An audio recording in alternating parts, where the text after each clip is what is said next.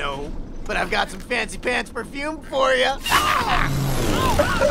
Get rid of it! Get rid of it!